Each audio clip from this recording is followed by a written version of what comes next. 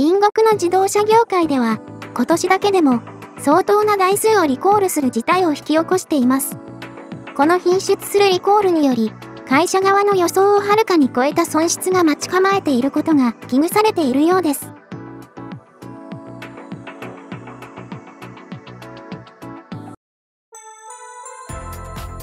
記事によると、ヒュンダイ、キア自動車が過去2015年と2017年に発生したシータに GDI エンジンの欠陥に関するお客様の保証のための費用を確保するために、今年の第3四半期の実績に歴代最大規模である3兆3600億ウォンの品質コストを反映することにした。これにより、両社とも第3四半期に大規模な赤字が避けられない見通しだ。ヒュンダイ社は19日後も投資家を対象にこのような内容を骨子とした第3四半期の品質コスト説明会を開催した。第3四半期の実績に反映される品質、コストの規模は、ヒュンダイ自動車の場合は2兆1000億ウォン、キアは1兆2600億ウォンである。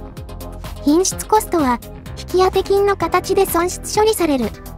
シータに GDI エンジン車は、過去2015年と2017年に、米国と隣国で、エンジンの振動やエンジンオフの減少が発生し、リコールを実施したことがある。また、米国において、9月には、火災を引き起こす危険のあるブレーキオイル漏れを修理するため、59万1000台をリコールすると発表している。以後、ヒュンダイ、キア社は、顧客満足度の向上のためにエンジン障害保証プログラムを提供すると発表した。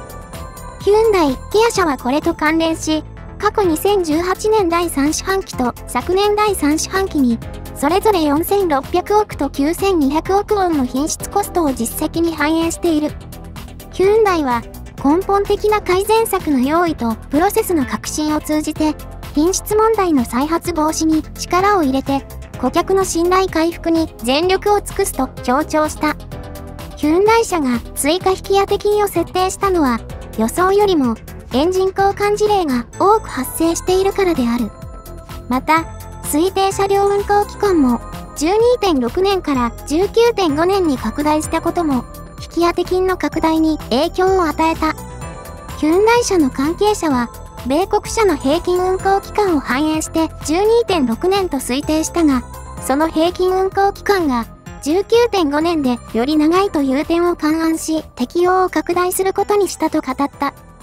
また、エンジン振動感知センサーを装着してみると、エンジンの欠陥が事前に発見された交換件数も増えたと強調した。これとともに、エンジンの欠陥を事前に監視することができるエンジンの振動感知センサーを適用対象も拡大する予定である。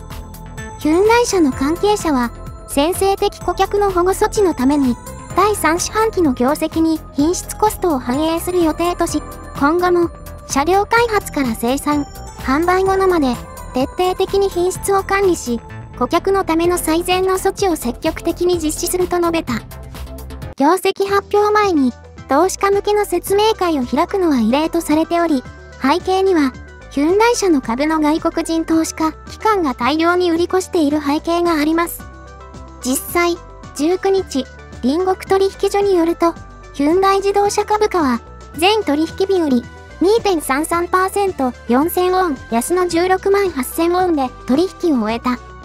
キア自動車も、前日より0.95%、450ウォン、下げた46,700ウォンで取引を終えた。下落の原因としては、ヒュンダイ社は、電気自動車火災問題への投資心理が萎縮した状況で、これまで急騰した株価に負担を感じた機関と外国人が、一挙に売り越し、株価を引き下げたとみられる。とのこと。投資家に向けて今後精神誠意頑張るから、言動だけお金くださいアピールがひしひしと伝わってくるのは気のせいかな。貴族の嘘に蝕まれ、外国人投資家からは逃げられ、リコールの嵐で資産が食いつぶされる状況。この衝撃的な耐久勝負にいつまで持ちこたえられるのでしょうか。本日も最後までご視聴いただき、ありがとうございます。本日のニュースはいかがでしたか？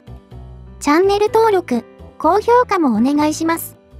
また、次回の動画でお会いしましょう。